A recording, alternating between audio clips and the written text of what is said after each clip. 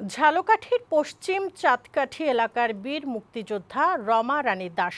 একাত্তরে যখন তার বিয়ে হওয়ার কথা তখনই শুরু হয় মুক্তিযুদ্ধ। রমা রানী ঘরের টান উপেক্ষা করে ছুটে যান যুদ্ধের ময়দানে। নয় নম্বর সেক্টরের অধীনে সাতচল্লিশ জন নারী সদস্য নিয়ে গঠিত অত্যাঘাতী স্কোয়াডের নেতৃত্ব দেন তিনি। বীর মুক্তিযোদ্ধা রমা রানী দাস এখনও তরুণ প্রজন্মের অহংকার। ঝালকাঠি সংবাদদাতা শফিউল আজম টুটুলের পাঠানো তথ্যচিত্রের ডেস্ক রিপোর্ট। বিয়ের আশীর্বাদ শেষে আনুষ্ঠানিকভাবে যখন শ্বশুরবাড়ি যাওয়ার পালা রমারানী দাসের, তখনই শুরু হয় মুক্তিযুদ্ধ। ঝালকাঠির বিভিন্ন জায়গায় বাড়িঘরে হামলা, লুটপাট ও আগুন দেওয়া শুরু করে পাকিস্তানি হানাদার বাহিনী ও রাজাকাররা। রমারানীর আর যাওয়া হলো না শ্বশুরবাড়ি। হবু স্বামী পার্থসারথী দাসের সাথেও যোগাযোগ বিচ্ছিন্ন হয়ে যায় তার। যোগ দেন মুক্তিযুদ্ধে।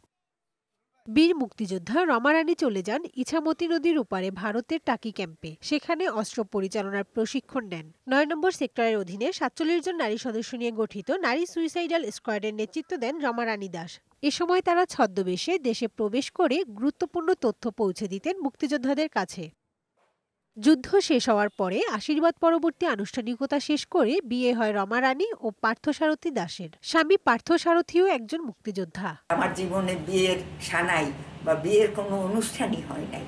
ওই ওখানে মন্ত্র উচ্চারণের মাধ্যমে বিয়ে হয়েছে। তারপরে আমরা মেজর জলিল তার দলবল সহ আমরা খুলনায় চলে আসলাম।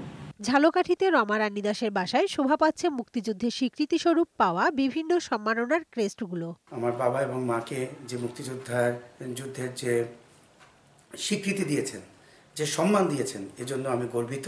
দেশের যে কোনো ত্যাগে আমরা প্রস্তুত থাকব মুক্তিযোদ্ধার সন্তান হিসেবে। রমারানী দাস ঝালকাঠি সরকারি হরচন্দ্র বালিকা বিদ্যালয়ের সিনিয়র শিক্ষক ছিলেন বর্তমানে অবসরে রয়েছেন। অন্যদিকে স্বামী পার্থসারথী দাস ঝালকাঠি সরকারি মহিলা কলেজের অবসরপ্রাপ্ত অধ্যাপক।